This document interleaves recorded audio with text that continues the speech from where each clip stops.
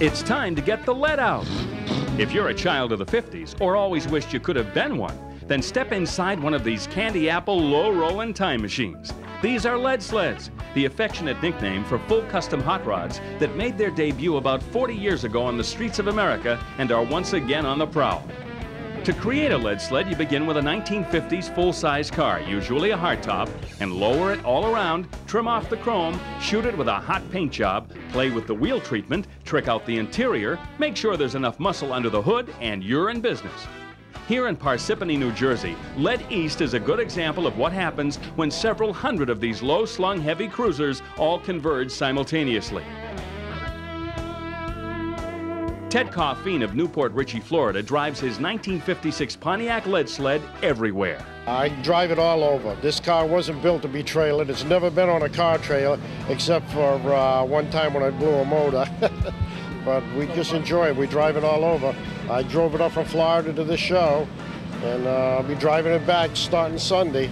Which is pretty much the prevailing philosophy of any confirmed lead sledder. At an event like this, it's more common to see the sleds in motion than just sitting pretty, which takes a certain degree of courage, since most sleds are only a few inches off the ground, and the simple act of pulling into a driveway could cost you a front roll pan. But then again, these rodders have had plenty of experience reworking sheet metal. The body itself has got 224 modifications to it. It's a seriously modified car.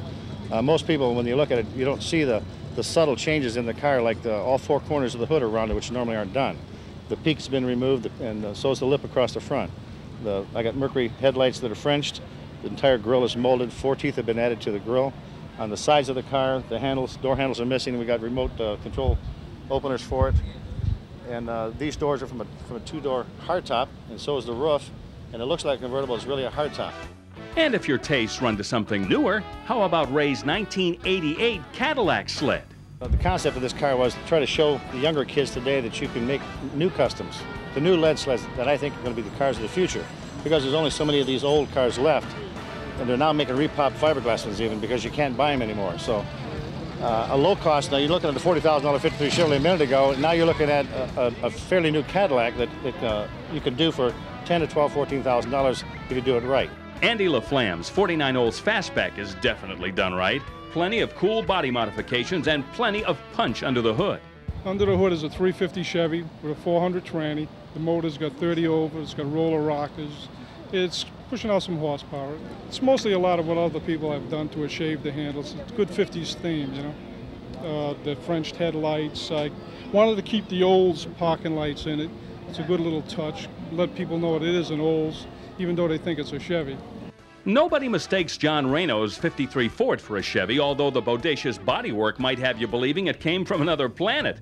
It's been sectioned, lowered, dechromed, and has parts from Packards, DeSoto's, and a 1958 T-Bird scattered throughout. And check those suicide doors. That was a job. The suicide doors, yeah, that, I did that myself. I made the hinges from scratch. It took like 22 hours to do the first door and about five after I knew how to do them. I mean, and that still was a while. Sylvia and Tony Venuti's 50 Merc lead sled could be the cover car for the Lead Sled Encyclopedia. It's got everything a solid gold lead sled should come equipped with. Lowered suspension, 57 caddy hubcaps, and those ever familiar scarlet flames. A theme that carries over to the interior as Sylvia shows us. The interior was done by Billy Scott in Kentucky. And as you can see, we have a TV in the back. I can roll my seat back while he's driving and watch it and we have all the flames he's done. He's embossed all through all through the, the roof of the car. And he, he made all the side panels. You can see all the flames there and the flame rugs. It's really a comfortable car. All those flames remind us of another essential feature on any true blue lead sled, flamethrowers. A clever system that sprays raw gasoline or alcohol into the exhaust pipe and is then ignited by a spark plug triggered by a switch inside the car creates this five-alarm firestorm that defies description. Hey, take it from us. Lead sleds are hot.